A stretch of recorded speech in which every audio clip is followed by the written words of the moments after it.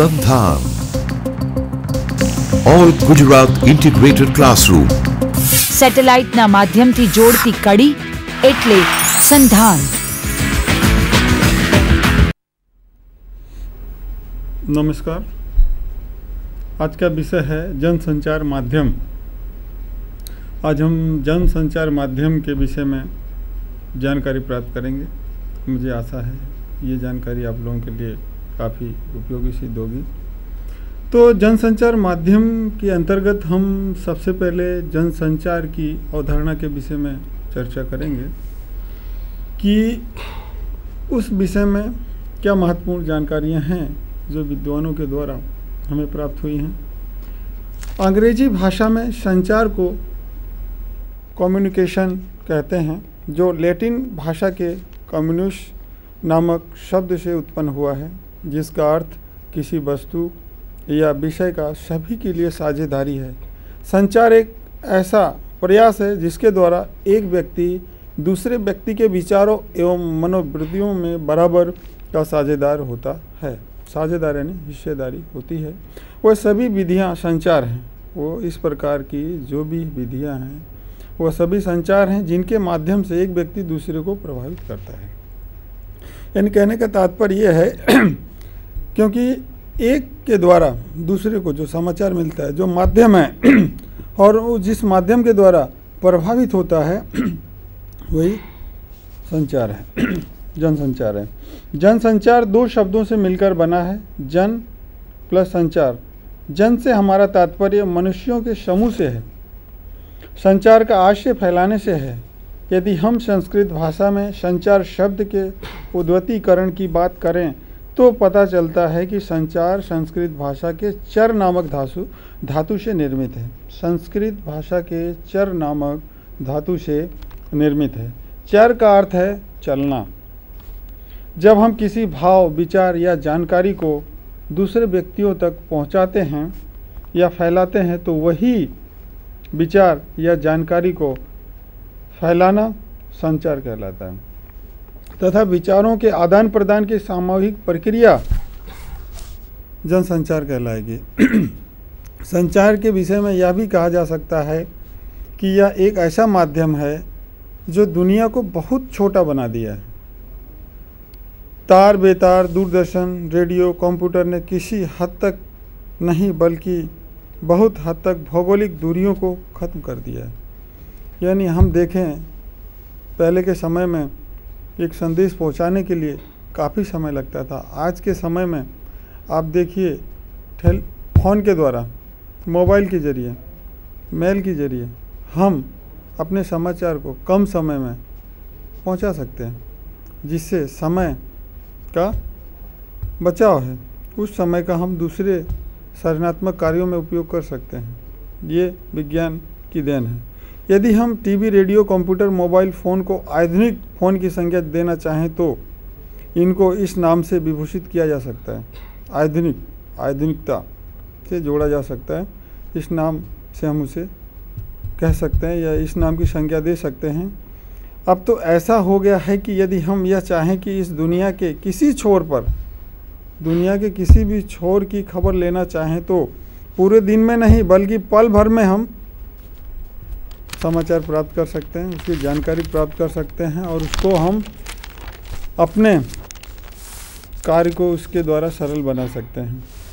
अब इसके अलावा जनसंचार की अवधारणा के बाद हम इसकी कुछ परिभाषाएँ देखें कि संचार एक शक्ति है, संचार एक शक्ति है जिसमें एक एकांगी संप्रेषक दूसरे व्यक्तियों को व्यवहार बदलने हेतु प्रेरित करता है।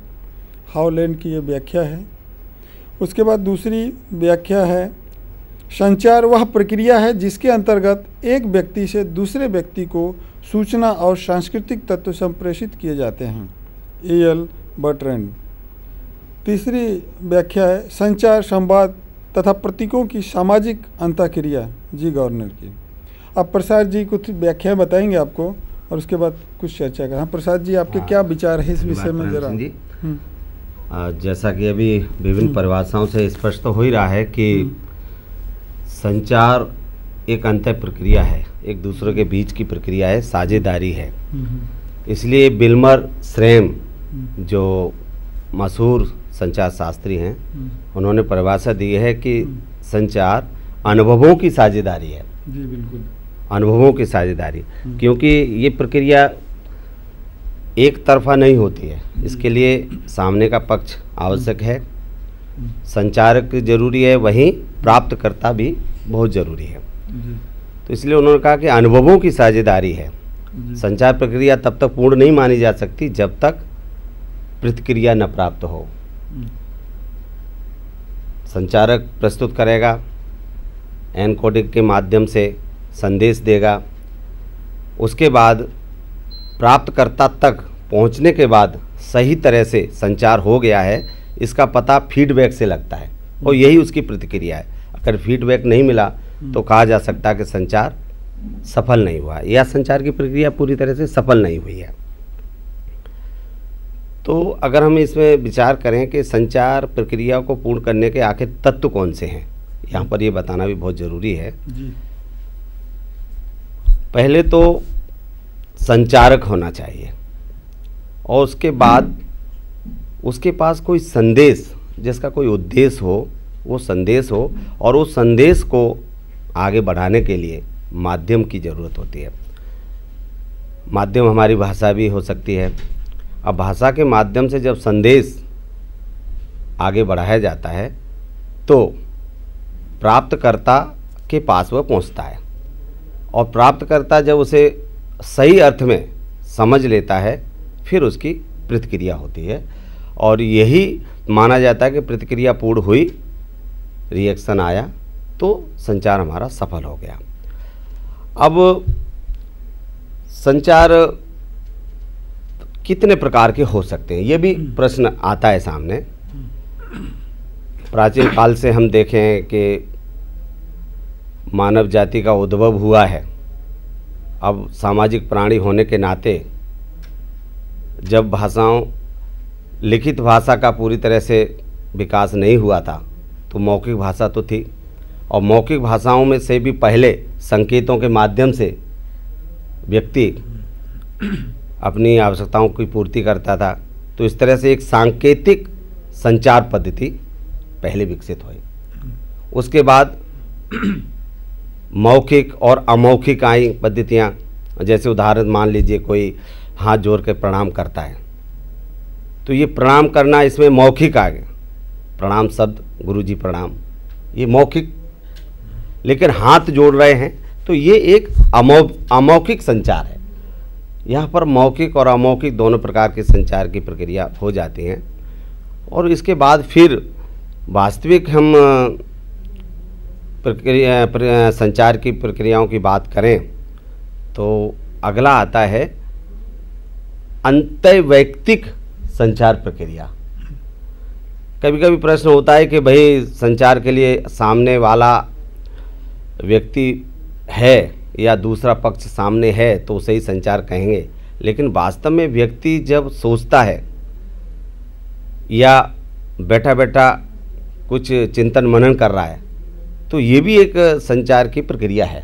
इसे अंतर्वैयक्तिक प्रक्रिया कहा गया है, क्योंकि व्यक्ति अपने आप से बात कर रहा है यहाँ पर। प्राप्तकर्ता और संचारक दोनों एक ही है।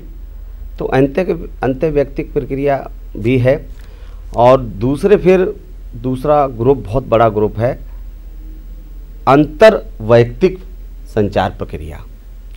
इसमें आमने सामने की प्रक्रिया चलती है। सामने, आमने सामने वार्तालाप हो सकता है। एक लोगों के बीच में हो सकता है, बहुत सारे लोगों के बीच में हो सकता है। यानी आमने सामने वार्तालाप, ये अंतर वैयक्तिक संचार प्रक्रिया के अंतर्गत आता है। और इसके बाद फिर आया समूह संचार ग्रुप में। हमारे एक क्लासरूम भी कह सकते हैं, कक्षा के अंदर भी जो है समूह संचार के अंतर्गत आ सकता है। लोकसभा, संसद की कार्रवाइयाँ समूह संचार के अंतर्गत के अंतर्गत आती है, क्योंकि इसमें विभिन्न प्रकार के मुद्दे, विचार विभिन्न व्यक्तियों के द्वारा आमने सामने प्रेषित किए जाते हैं, प्रतिक्रियाएँ होती हैं संदेश प्राप्त होते हैं और उनके फीडबैक दिया जाता है। तो समूह संचार ये बहुत बड़ा ग्रुप है।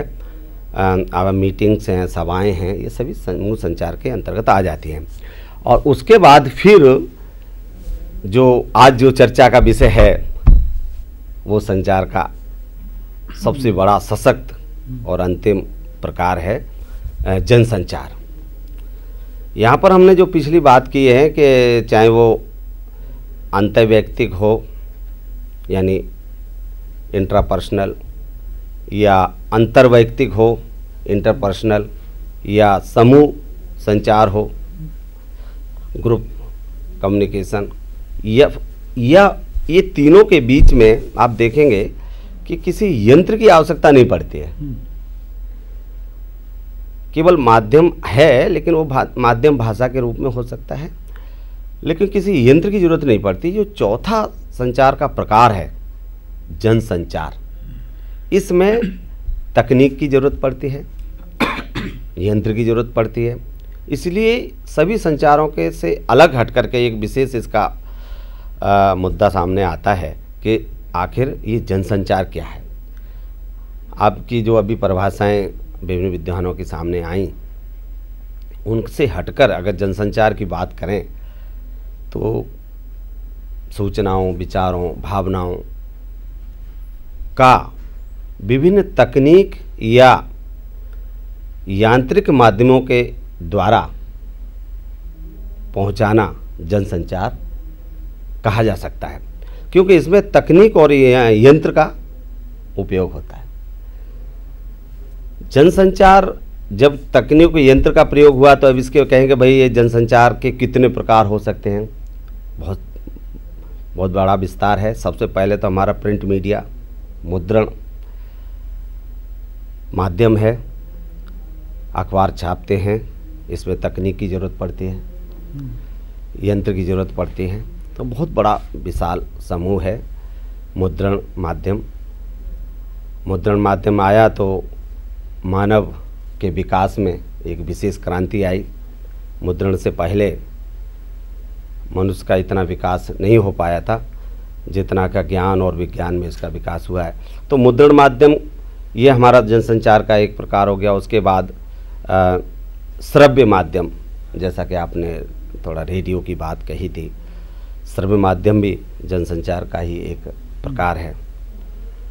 उसके बाद दृश्य श्रव्य, दूरदर्शन है, सिनेमा है।